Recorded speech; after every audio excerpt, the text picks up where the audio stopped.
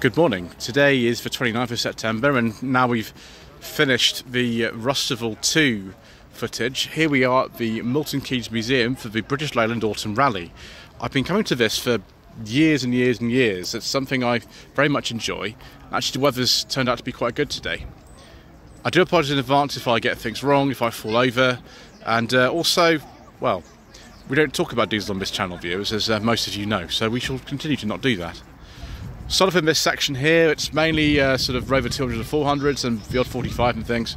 But this MGF is here, this is a 2001, it's one of the later ones. Similar in age actually to the one that I drove to the BMC Leyland show um, back in July. And also the Victory Beards and Bangers sticker and something utterly delightful. This is a 2002 Rover 45 V6. This is the um, connoisseur model. It's actually got some other bits on it which are non-standard, like this 2 litre badge on the door there. And I used to know the owner of this. I've just spoken to the son of the current owner who bought it off um, my friend Wayne. Um, it's actually, in some ways, in better condition than the one that I had. I had mine until uh, July last year. It's now in the care of uh, Reverend Parry Hughes from the Boaties World channel. Uh, but it's nice to see it. The 45 V6s are exceptionally rare cars. They made about 700 of them in total. There are now less than 50 on the road, and there are reasons for that. I talk all day about that, but um, just to say that it's nice to see a 45 V6 here, especially in this colour. So, uh, classic R8 here. This is uh, one of the late pre-facelift ones with the modified indicators, which came along in um, sort of late 1992 and 92-93 plate on this one, and it's a 220 GSI, so a G- GTI, not GSI, GTI with towed security on it. Um, excellent. We do like this viewers. We like it a great deal. The three doors are quite rare. For some reason at Rover they thought you could have a coupe or the three door, so they made both. And here are some Tomcats. Fantastic. K-Reg, so same as the other one. All the uh, Tomcats came with the sort of what we call the round the corner indicators. So introduced, I think, late 92. Um, same colour, both of them. I can't remember the name of this red. This is Nightfire Red, though, and so's uh, one there. But these are the later ones. They didn't facelift them exactly, apart from putting the grille on in sort of, I think, uh, late 93. Um, but they did change the interior. The dashboard in the later coupes, like this one, um, is the sort of one from the Rover R3 200. Got a set of uh, nice Cosmos wheels on this. When they put the new dash in, which is late 1995, they also changed the engines um, to the 1.6 K series and the 1.8 VVC K series. What these two are, I can't remember. Somebody can tell me in the comment section below uh, whether the wheels mean you've got the 1.6 or the uh, 1.8 in these. I've driven a 1.6, I drove it years ago. It was very similar to this car here. I think a sort of similar interior and everything as well. Um, they do drive well, these Tomcats. I've driven two of them. Um, a 220 from 1993, belongs to Mr. Richmond Furious Driving, and then that uh, later one, which was uh, 98. This one though is one of the last of the uh, one with the older dash in it probably a 220. Um, it's got a Honda engine one as well.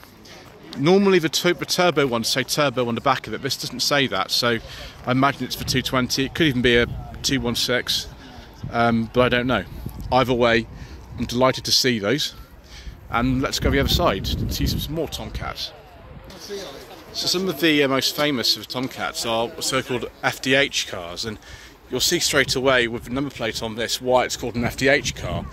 This was a batch of uh, Tomcats were destined for I think Japan, and so they all have things like a leather interior, and uh, they have um, air conditioning, which is a very very rare option in this country on a Tomcat. Um, but they were re-imported over here um, and all registered of the same sequence. So we have a very nice beige leather interior, viewers, and we've got some wood. But yeah, so FTH, very high spec ones and all registered together and that looks absolutely brilliant. I think it was 95 96 I registered all the FTH cars. Then we've got one that's um, got the T series in it. It actually has the, the Japanese um, market plate on it as well. Strut brace and all sorts of things like that. So got even more power than standard. I think this is a turbo one. Yeah, you've got a number of uh, Japanese spec rear plate on that as well. Wonderful. Another one of the later ones here, 1998 1999 registration. Last year for them was 99. Um, I think this is just maybe a 1.6. Towards the end, of this would conclude this car. They were called the uh, 1.6 coupe, not the 216, um, for reasons I'm not quite sure why.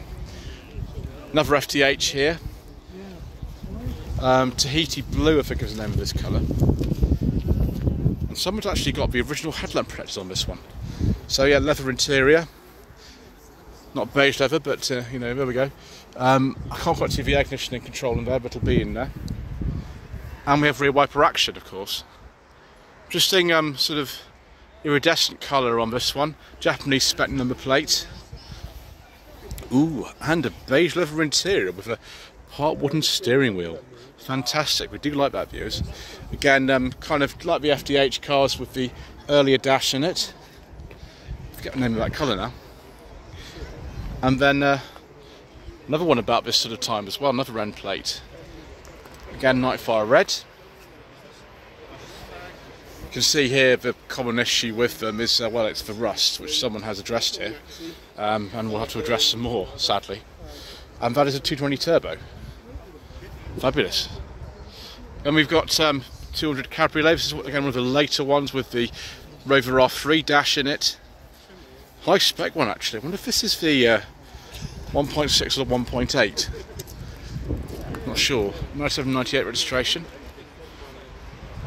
Got a 25 here. There's a couple of these here as well. This one's actually for sale, would you believe? And they don't want a lot of money for it either. Someone's had a go at sort of dealing with some of the little rust spots on this car. Um, we've got parking sensors, which is unusual. That was not standard at all. That was a, an option on something like this. But we can see here that it's for sale. It's an Impression S, which is a very common specification back in the day. And they only want £750, which is no budget reviews money. Uh, call John on 07760434669. As Mr. Bill from the Fuel Power channel says, this could be yours. So we've got actually a, a, much earlier car here. This is a, an R8. It's um, pre-facelift. We've even got round the corner indicators on this. So this will be the uh, 95 brake horsepower K series 1.4. Very very nice interior on this. Um, so I think an SLI interior. This, yep, 214 SLI, um, 92. Just before they brought in the uh, other indicators, very very nice condition. The um, early R8 I had, which is a um, a 91, the one I had was this colour, but it wasn't as nice as this. I'm in a 200 VI. These are very, very rare indeed. And before you ask, yes, Mr. Richardson for Viewers Driving has one of these, and I have driven it. I drove it in 2022, I think it was. This one is in fantastic condition. You can get a three or a five door. This is a five door.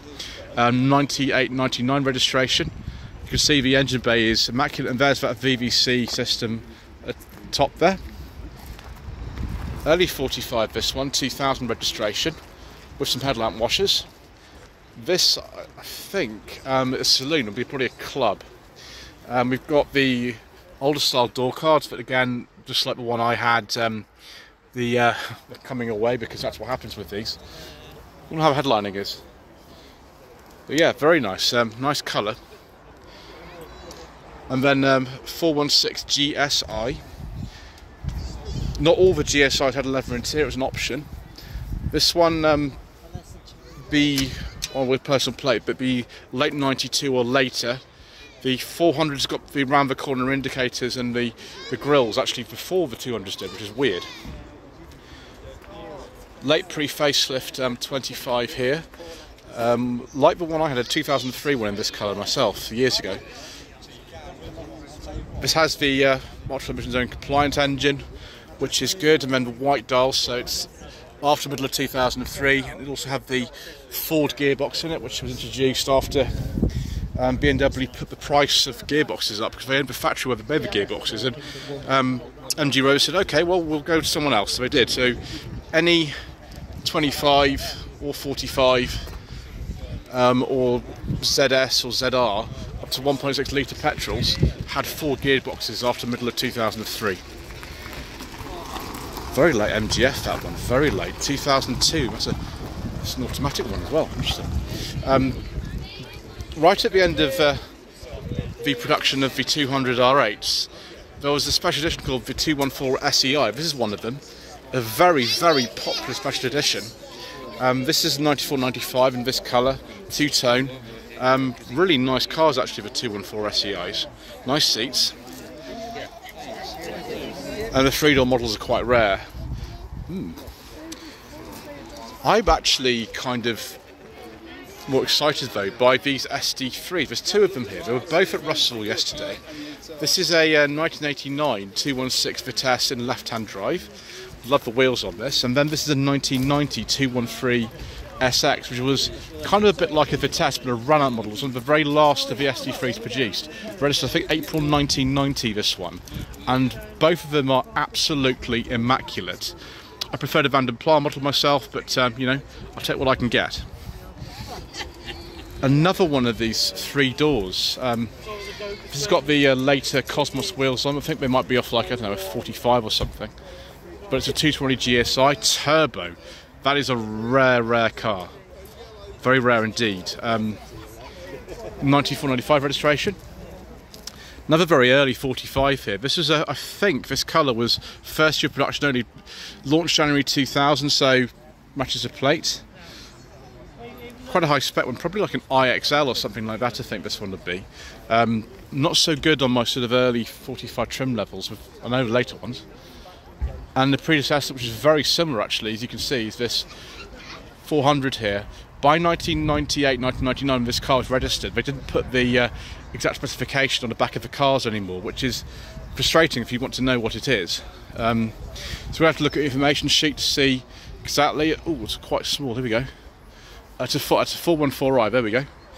Um, they look very similar all the way up to like you know 416, and then the 420s look quite similar in some ways another one of these uh, three-door R8s. Maybe they're a bit more common than I thought they were. This one looks very much like a GTI. Those wheels are off a Tomcat Coupe, I think. Yeah, 220 GTI turbo as well. Ooh, viewers, very exciting, very exciting indeed. And then another 45. There's actually two of them in this colour here.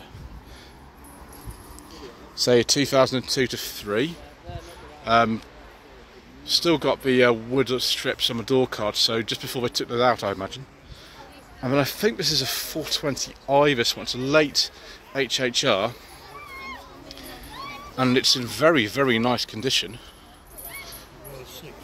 Local, um, locally owned car, by the look of it, judging by the plate from the garage there. 99. 214 SI, which is sort of towards the bottom of the range. It was a 214i as well at this time. Um, this has the later grille and later indicators, so be um, after like late 1993. And then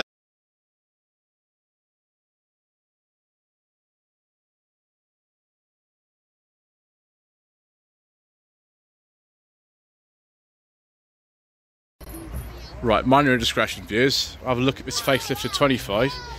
MG Rover press plates on this. Similar wheels to the 45 that we can't discuss. No leather interior, so I don't think it's a GLI or GSI. Um, but very late. The production of these, of course, finished April 2005. Um, this is registered either just before or just after that, which is which is good. Another R8 here, 216 GSI. I wonder if this is a manual or automatic. We've got the upgrade wheels on this, which is shared with the GTI. It's manual. I can't see the seats on here to see we've got the leather interior or not. The leather interior wasn't standard on the GSI, but it was, it's nice. Um, the grille obviously was a popular thing to put on. You can see what this car would have looked like originally by looking at this car on here. This is a 214 SLI. So both, both this and the other one in the same colour are very, very similar specification. Can't believe how, much, how many of these are left here today. I'm delighted to see them though, viewers. Very much so. Very, very happy to see all these here. Um, remind me of the three R8s I've owned myself, all 216 SLI automatics, all three of mine were that. And then an MGZS 180, because of course, they did make them in um, both um, saloon and hatchback. This is a hatchback. Be one of the later pre-facelift ones, and that's one of the monogram colours. But I can't remember exactly um, what that one's called now. Typhoon. Typhoon. Thank you very much. And then we've got a ZR here, facelift ZR, 2005. This is a um, 105 plus. I think, I think the uh, 105s you can tell by the wheels, but I might be wrong about that. It's also delightful. I'm in a 200 BRM, excellent, very similar in specification to the VI over there, but we've got these um, what some of the unique alloy wheels. We've got the uh, front air intake. We've got the red interior. At the time, which is a real shame, these cars didn't sell very well. They couldn't really get them away. It was it was a real shock actually. Um, but now they're very highly priced. One in this sort of condition, this is a 99 car, would be very valuable. We do like uh, BRMs very much, viewers. and I've just been offered one for review, so we'll see about on my channel at some point. Another very, very nice 45. This is a sort of conquest when it comes to like everything. This particular one, it's a 2002 Impression S, which um, I've seen at all sorts of different shows. I think though my Photo 45 is still the V6 one, but that's because I'm very biased, viewers. Um, your opinion might well vary. Let's have a look at some marinas and Itals. So, very late marina here, registered I think like 1980, 1981 this one. Um, Vermilion is the name of this colour. See to remember, this one was registered far after the marina production finished for reasons that I can't remember now, but somebody in the comment section will tell me. I've seen this one before. So 1300L. Uh, Tal came in on a V plate. And then um, one of these Morris Marina based pickups, I forget now what these were called. I think the 575 is what they were called. Weirdly, um, this is actually different again. The standard dashes for the commercial variants of this were different from the um, standard cars. We'll see an example of that later. But yeah, that's had a five-speed gearbox put in it. Um, 7374 on an M, nice colour that. And then a Marina TC 7273 on an L. Very nice high spec with this big opening sunroof. So there's the um, standard dash for the early Marinas. The later ones have different dashes in them. Um, I forget the name of this purple colour now, but that'll be the 1.8. Then we've got the uh, 1.3 Marina here. This is a, on a K, so 72 32 approximately. Um, basic dash in this one. You must be very careful of these actual wing mirrors and not get caught on those. Maybe it tells me the name of this colour here. Oh, so it's 71 rather 72 this one. It's Autumn Leaf. Excellent. So an early marina, but not the earliest one. We'll see the earliest one remaining a bit later on. Another one in this sort of purple colour. This time got a coupe coupes were made uh, uh, right up till the end of Marina in 1980, and uh, the Marina I have driven is a 79 coupe. So again, with the earlier dash in this car, it's a 1.8. And then in Ital, I, I very much like Ital's views. I've been after an Ital for review for years, but never quite managed to get one. It's got the uh, later dash, which is common with the Series 3 Marinas, where the radio faces away from the driver, which I've never understood why you do that, but there we go. 1.7 SLX, I think was the top of a range car when this would have been news of 83, 84. The 2 litre SLX was discontinued a bit before that. And then a, fantastic blaze red Marina, um, 73, 74 on an M, with a roof rack, Marina Super Estate. and that is the 1.8. It's a very similar car to this, the Professionals actually. One episode called 72 Masters, also in this colour. 7374 Marina Coupe. Um, it has a 1275 GT sticker on it, but I don't think that's original.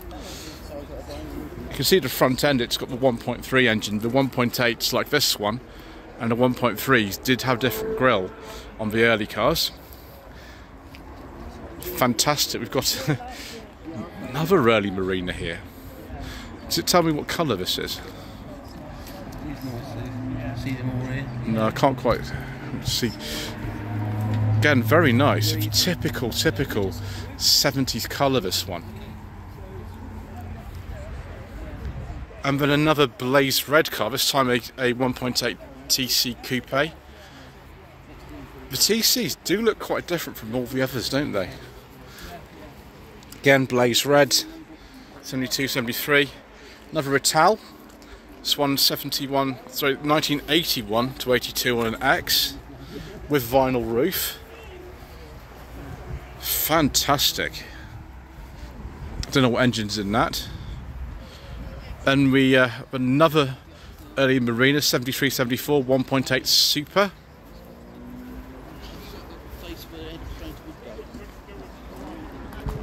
You can see we've got TC grill on that. And then this um, commercial, it's a very strange sort of hybrid. It's got a Marina front end, but it's got Ital door handles, and it's got a dash that doesn't look like a, a, an Ital Marina dash. It's a very basic looking dash. Look at that. Wow.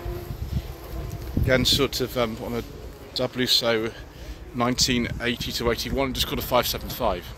Now we said earlier, earlier on we are looking early marinas, and this is the earliest one they know, I think. Look at the, the way the track is really, really in board of the wheels. It's 71 on a J, and it's it's immaculate, absolutely immaculate. But it's one of the earliest marinas surviving, if not the, the earliest marina that survives. And look at that, it's absolutely beautiful condition. Right, let's uh, go now and have a look at some more marinas at couple of Series 3 marinas here. One, I think this is russet brown, this colour. Let's have a look at the back, see what specification this is. It's a Marina 1700. The Series 3s from 78 onwards had the um, O Series engines rather than the um, B Series engines in them. And then a beautiful condition, another Series 3, late registered car, 8081 registration. 1700 HL again with vinyl roof. For some reason, these cars didn't have a badge on the steering wheel at all, which is odd. So another commercial one here, again with the like marina style front end, but well after the Ital came in. 81, 82, so Ital door handles and with that sort of funny basic dash in it. I wonder if it's a, like a 1.3 or something. And we've got another one coming in here. I'm surprised how many marinas are actually here. There's tons of them. Considering the survival rate is quite low for them. And that's uh, for obvious reasons, viewers. They did like to rust, also they weren't worth a lot. And then, um, you know, some gentlemen came along in the 2000s and started dropping pianos on them, so, you know, that um, didn't help. Yeah, again, this sort of a dash. Marina's super. I'll look at the front end and we can see straight away that is a 1.3 and now we're into the princesses. There are four princesses here, and there's another princess-based car as well. We'll look at in a second in a different area. Vermilion here is a 79 Princess. This one's an automatic. Very, very nice condition. I drove a Princess in 2022. It was a 2200 HLS and also a Princess 2 like this one. And it was brown over brown over brown, which was amazing very late Princess 2 here. You can see on these V-Reg cars, remember this X-Reg one, actually the badging got different towards the end. And this, this will be sort of 81, 82. Um, the Ambassador didn't come in till March 82, so there was a bit of production gap with these. Ambassador, of course, is a car I finally drove earlier this year, so I had both of them. And then a lovely sort of 7980 one here. It's quite high spec this one. Yeah, that one is a 2000 HLS, and that was a also a 2000 HLS, but badged differently. And then a 2000 HL, um, 1980-81 registration. There's a time when these were worth like no money at all, but they're quite desirable now. These princesses, actually. I understand why. So this is a tributary to Harris Mann, as, as many of you know, who passed away last year. And these are some of the cars that he designed. So we've got a 1978, a late Series 2 Marina. It's a 1.8 special.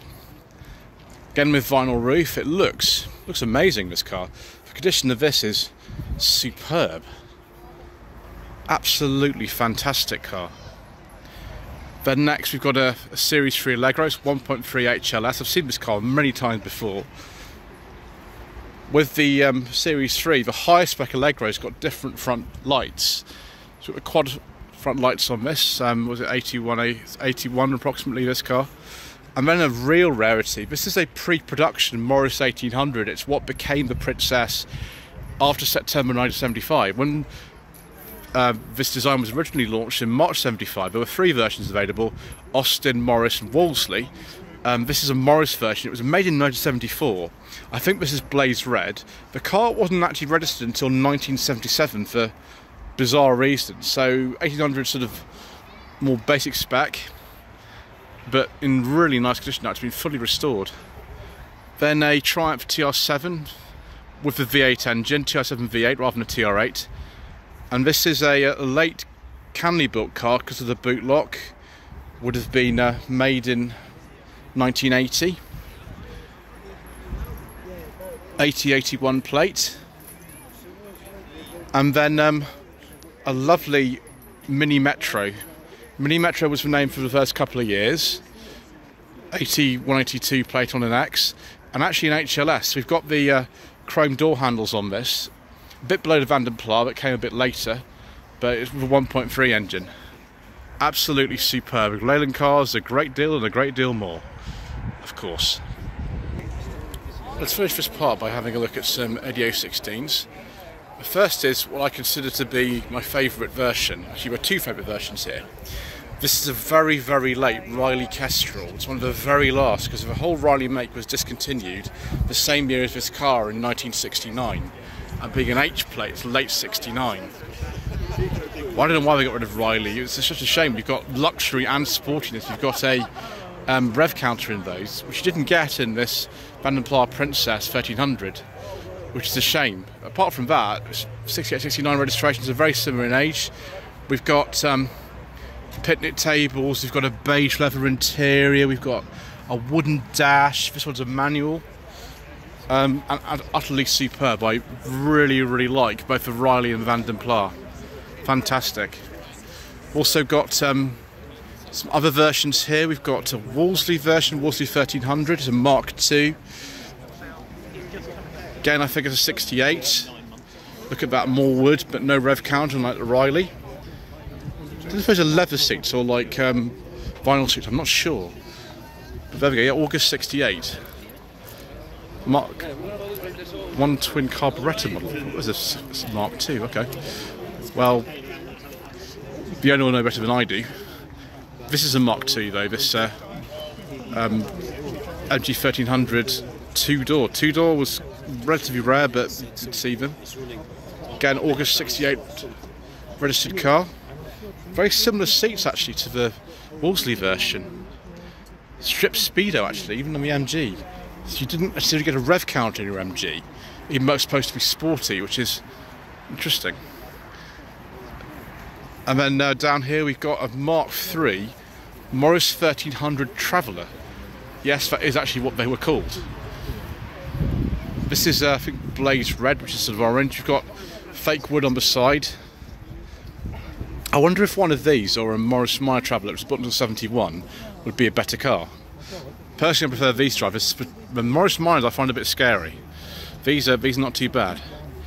The winner of um, the whole show last year actually was this particular car. It's a 7273 1300 GT. It's in beautiful condition, beautiful colour.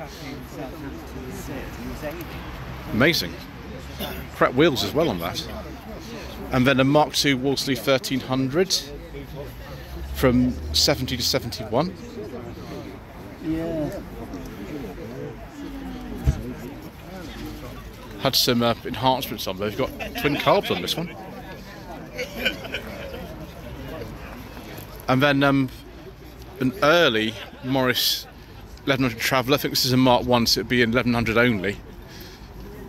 Lovely colour this. I can't remember the name of this now. Fantastic. and then a Ranger, which I presume was based on the same platform as the ADO 16s. I don't think I've ever seen one of these before. I don't think particularly um, I'd like to have a go in this today, but I'm checking with E-Type rear lights because we've got no weather protection whatsoever. And then uh, a nice Wolseley 1300 automatic, seven sorry 67 68 on an F, so it'd be an early one of those. Fabulous. Well, we've got a lot more to see, but we'll end this part here. Thank you ever so much indeed once again for watching. Please don't forget to subscribe to the channel, like this video, leave a comment below.